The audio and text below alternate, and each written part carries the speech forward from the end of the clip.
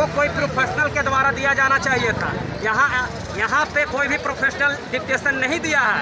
अगर किसी को इंग्लिश पढ़ने आता है इसका मतलब ये नहीं कि वो एक अच्छा डिक्टेटर है। अस्सी वर्ड पर मिनट देना था डिक्टेशन ये इंस्ट्रक्शन में साफ़ लिखा हुआ है कि यूनिफॉर्म स्पीड पर होना चाहिए। लेकिन यहाँ पे सौ तक गया है। तो ये कैसे पॉसिबल है कि हम मान लें कि ये अच्छा से कंडक्ट कराए हैं एग्ज़ाम स्किल टेस्ट कैंसिल होना चाहिए।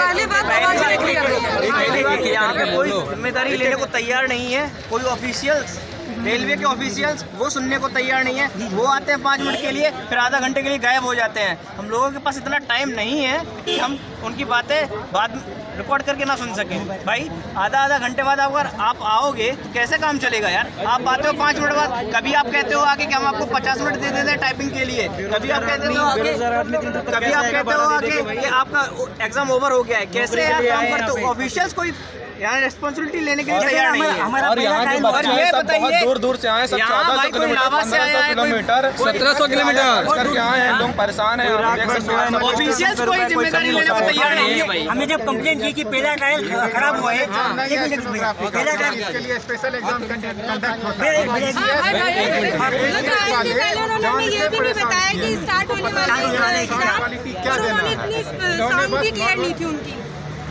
क्वालिटी बिल्कुल खराब होने के बाद हमने बताया कि बीच बीच में से कुछ वर्ड ऐसे थे बिल्कुल भी नहीं समझ में आ रहे थे। कुछ वर्ड हर हर दस वर्ड हर एक लाइन के बाद कुछ ऐसे ही वर्ड थे जो समझ में भी नहीं आ रहे थे। साउंड इतनी कोई ऑफिशियल ज़िम्मेदारी लेने को तैयार नहीं है। जब बच्चा ट्रायल में ये बोल रहे थे कि हमें ट्रायल अच्छा नहीं लगा तो उन्होंने दोबारा ट्रायल देना चाहिए था। रियल एग्ज़ाम स्टार्ट करने से पहले। एक बार होम सेंटर के लेकिन वो भी उन्होंने नहीं दिया। सीधा एग्ज़ाम स्टार्ट मुंबई है। यहाँ के स्टाफ भी है देख सकते हैं यहाँ पुलिस बस दर्शक बनी हुई है कुछ काम नहीं कर रही है।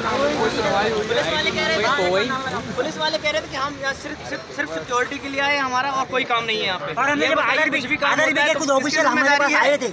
आधार के ऑफिशियल हमारे हाँ। फ्लोर पर आए थे। वो कब आए मालूम है? जब हमने पहले ट्रायल हुआ तभी बताया नहीं आए। दूसरे ट्रायल के बाद भी नहीं आए। पूरा पैसेज हुआ। आधा घंटा बाकियों का टाइप हो गया उसके बाद वो आए। और आने के बाद क्या किया उन्होंने? बस देख के चले गए और हमसे नहीं बात की उन्होंने।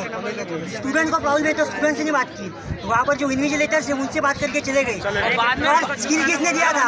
स्किल इन्विजिलेटर ने दिया था हमने दिया था? कोशिश की तो बाद में फोर्सफुली कहते भी इन्विजिलेटर थे सभी सांस सुन रहे थे क्योंकि उनका गलती है। और उस गलती को सुधारना वो नहीं चाहते हैं। वो इसलिए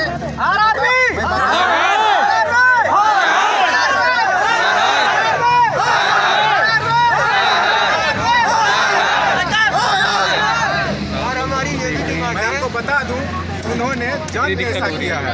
उनको नहीं पता है कि स्किल टेस्ट कैसे होता है। बस यहाँ कोई स्टेनोग्राफर नहीं था। देख सकते हैं कंप्लेन है। इन्विजिलेटर ने भी एक्सेप्ट करा इस चीज़ों को। चेयरमैन की आरआरबी को लिखा गया थी। और ये देखिए साइन कितने लोग ने किया ये देखिए। बाकी बच्चे कितने बच्चे को अगर किसी एक को समस्या होती है तो समझ आता है।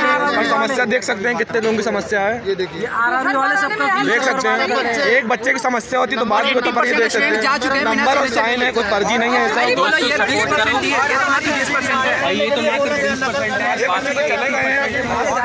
बच्चे तो बचे हैं। देख सकते हैं।